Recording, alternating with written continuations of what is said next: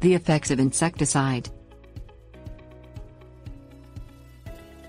All pesticides chemical and organic affect the health of people exposed to them, but the harm doesn't stop there. Pesticide use starts a damaging chain of events that begins by disrupting local ecosystems and ends with tainting the produce you buy at the market. The first step in minimizing the risks associated with pesticides is identifying their effects. People Damage to the nervous system, abnormal hormone production, endocrine system disruption and the risk of cancer from carcinogen containing chemicals can affect anyone exposed to pesticides, especially children, pregnant and nursing women, the elderly and those with compromised immune systems. The only way to eliminate the health risks associated with pesticides is to never use them. Since that isn't likely and because even if you don't use them and your neighbor does, overspray and prevailing winds can bring them to your doorstep you can minimize health risks by staying out of sprayed areas, using pesticides with the lowest toxicity and following pesticide label instructions and warnings. Beneficial insects Your garden and landscape most likely have more beneficial insects that pollinate plants and prey on damaging pests than pest insects that cause damage.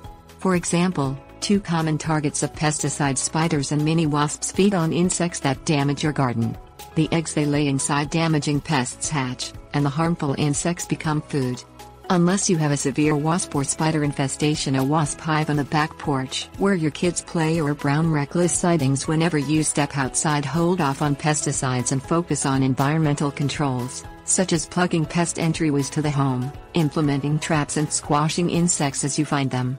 If you have a severe infestations of garden pests, such as aphids, mites and chewing bugs, start with horticultural oils, such as summer oil, and specialized microbials such as Bacillus thuringiensis, before moving on to synthetic options, which target numerous species of insects indiscriminately. Secondary effects Pesticides contain an array of secondary chemicals, referred to as inert ingredients, which facilitate their application and increase their effectiveness. Despite the benign sounding name, Inert ingredients cause more damage to you and the environment than the active ingredients in the pesticides that contain them and usually comprise at least half of the pesticide's total ingredient content.